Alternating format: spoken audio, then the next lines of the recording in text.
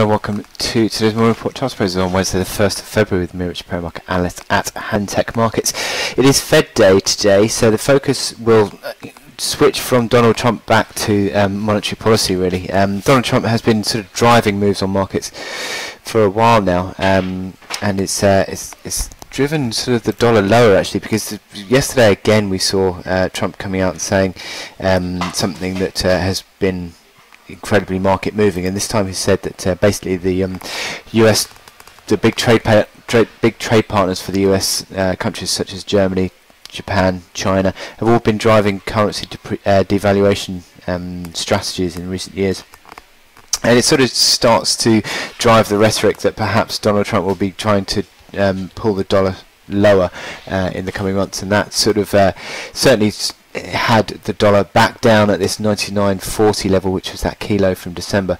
Um, bounced a little bit today, but um, it's interesting that we're starting to see a bit of a dichotomy with the um, uh, with the treasury yields the 10 year and the 2 year both sort of had picked up in, in the last sort of few weeks but the dollar has still been falling and that sort of correlation that positive correlation that had been sort of driving for so long um, seems to be sort of as a near term um, sort of uh, it's starting to break down a bit and um, if that Donald Trump's rhetoric continues along those paths, then uh, that will continue. Now you've got the Fed today, um, not likely to see any sort of rate hike. I think the markets will be looking for any sort of lean towards um, a March hike um, because at the moment they're not. They're not. They're basically just pricing in two rate hikes this this year, um, and a March certainly anything that sort of comes out hawkish and sort of suggests March is um, going to be seen as a next hike time um, will drive a stronger dollar again. So the dollar will be off monetary policy today, but we've also got the um,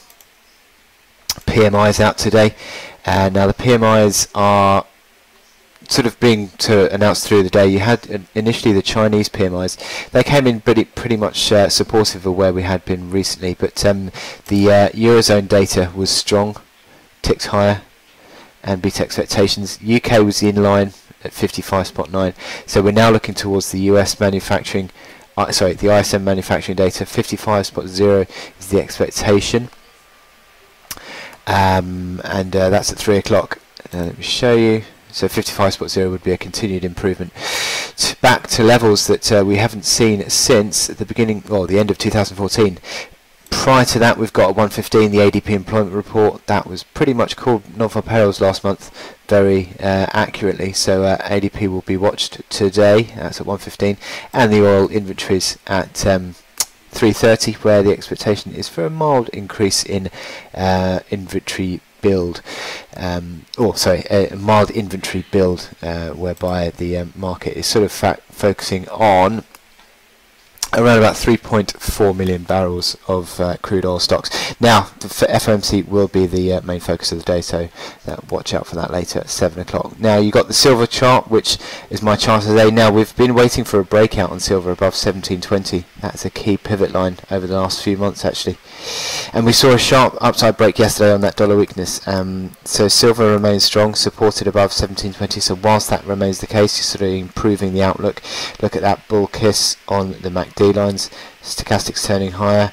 RSI 67 still got upside potential certainly if this is a bull break and it certainly seems to be you're above the 89 day moving average now um, so you're increasingly positive and you've sort of now broken the first key reaction key lower reaction high, which was 1720. You've now sort of broken that and uh, leaving that behind. You could argue this is a near-term base pattern. You'd, you sort of measure 160 ticks or or one dollar sixty from uh, from there. Projected higher 1880.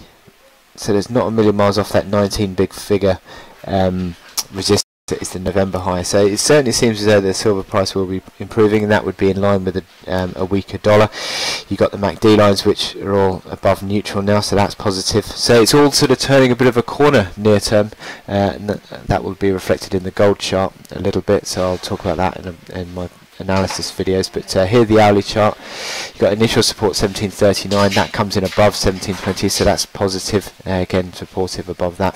MACD lines positively configured, as are the hourly RSI, having been negative below 50 and now positive above 50 so little dips are a chance to buy and um, yeah it's all looking pretty positive. So um, not a great deal of resistance.